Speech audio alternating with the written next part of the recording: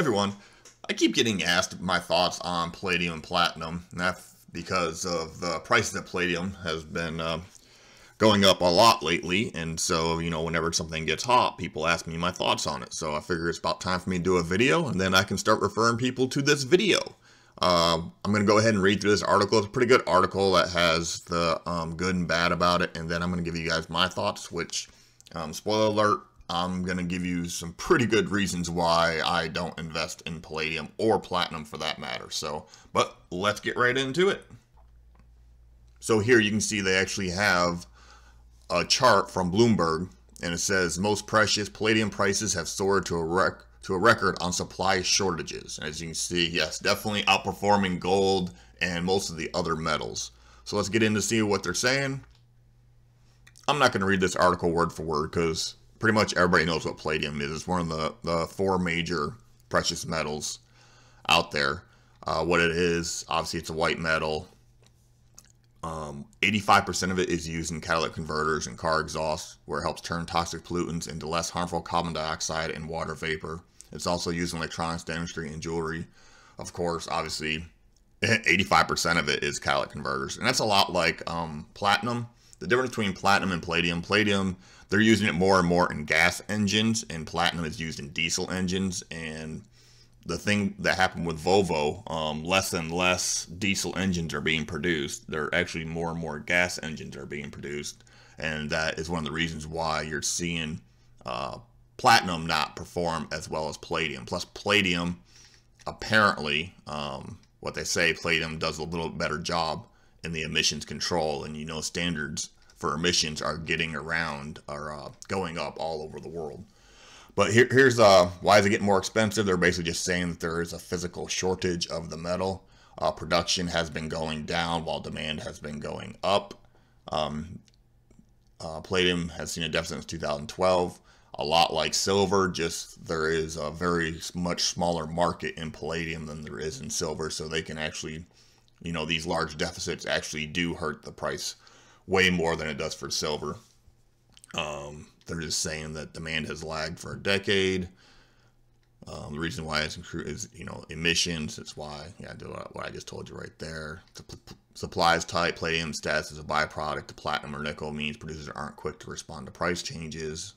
So that's why they're saying supply is tight. Speculators, they do think there is some speculation. They think China might be the biggest um, anecdotal evidence of stockpiling in China.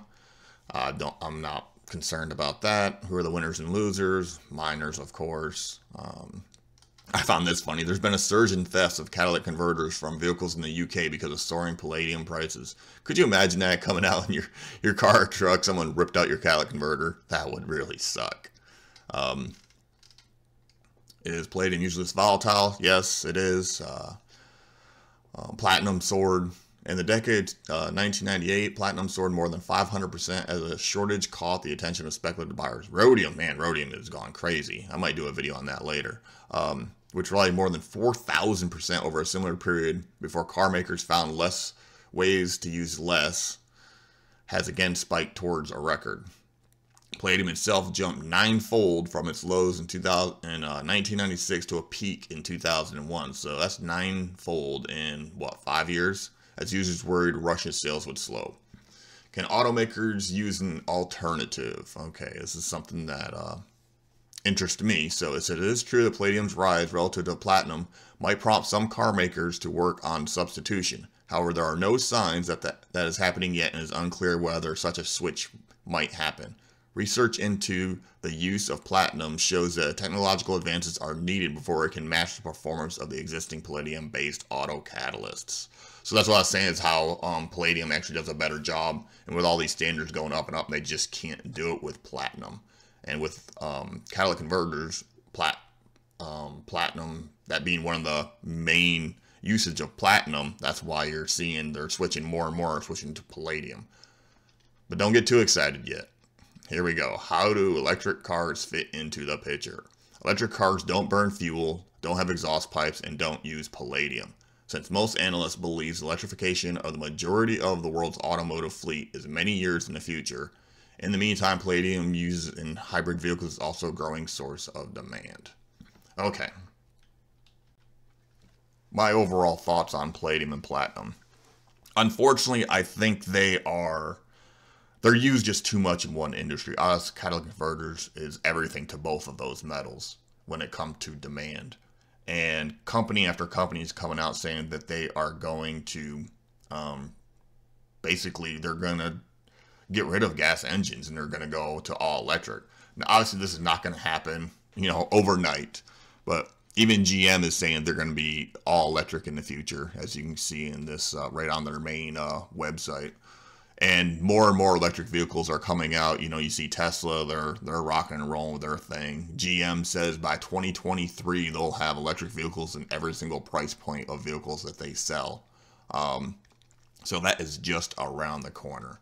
So my thoughts are you know, I when I when I buy silver, I buy it for the long term. I'm looking 10, 20 years out into the future. I'm not smart enough to know what the price is going to be next year, and I don't think anybody is. It's just a guess.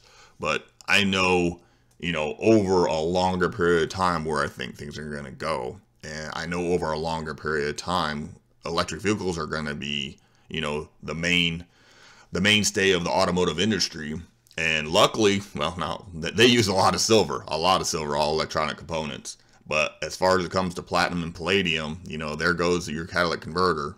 And, you know, I don't know what's going to, what those metals are going to do after that fact.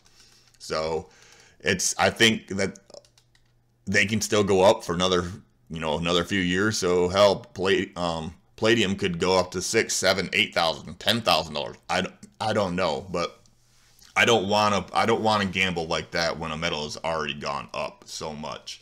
And the main use, 85% of its use, is basically going to go away in 20 years. Because um, I think in 20 years, by 2040, I'm fair, pretty confident that almost all vehicles will be electric at that time, and most likely self-driving. So, but all right, guys, that is my thoughts on palladium and platinum for that part. Um, I just don't see their future being that bright when it comes to um, the technology that is going to put the catalytic converter out of business, to say the least. So, all right, guys, hope you enjoyed the video, and um, I should have some more stuff for you guys soon. Thanks for watching, everybody.